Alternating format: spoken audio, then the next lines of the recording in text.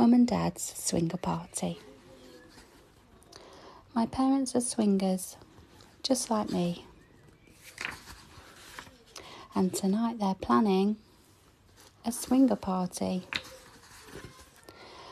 Mum went online to find some new friends. They do it like this every weekend.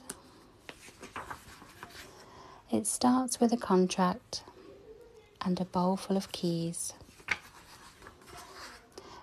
Everyone looking for unicorns? Yes, please.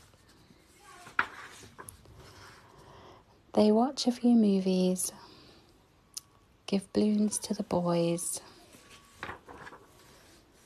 Everyone sleeps over and makes lots of noise. That is why every night I pray to have a swinger party for my birthday. The end.